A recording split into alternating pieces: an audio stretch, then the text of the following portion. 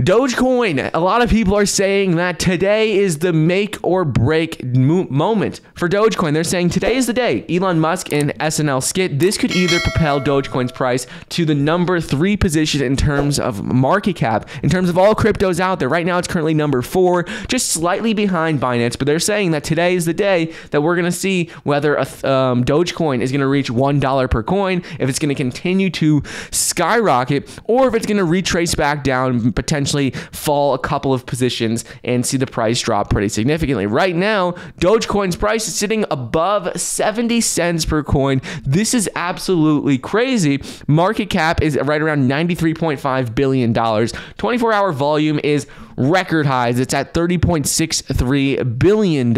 So this is really going well. And what's going on today?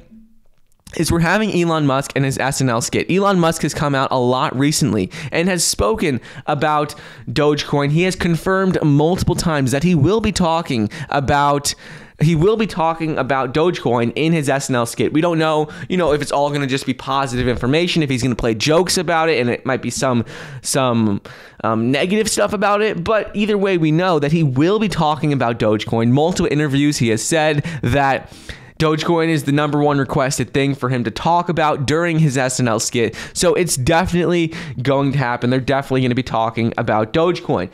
Whether we see positive or negative information, that could definitely impact the price of Dogecoin. Right now, at that 72 cents per coin range, it's at a $93 billion market cap. So that is by no means a small market cap. This is the highest we have ever seen it. And in order for us to continue to see a push upwards, we're going to need to have a lot of positive information come out during the SNL SNL skit from Elon Musk about Dogecoin. If we see negative, I think we will see the price drop. But big thing to keep in mind right now is that as the market cap continues to grow, continues to get closer to that $100 billion mark, more and more companies are just they're saying, forget about it. Like, we're giving up. We are just going to accept Dogecoin. They tried to hold out. They tried to say, you know, we're not accepting Dogecoin. It's it's not. It's a joke. It's not real. But now, as Dogecoin continues to get bigger and bigger, companies are just saying, you know what? Like, we have to accept Dogecoin. It is going to bring us so much good attention in the media, like free marketing.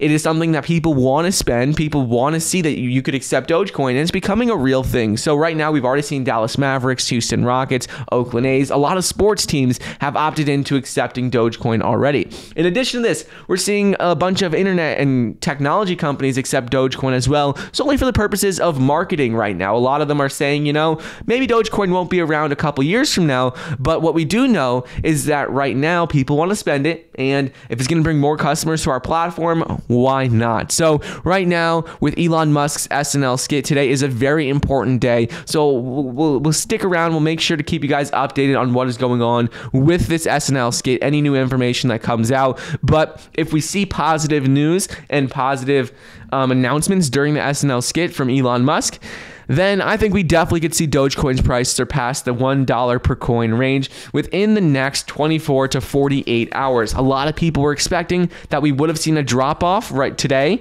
but doesn't seem like it's happening. It seems like Dogecoin is continuing its upward trend.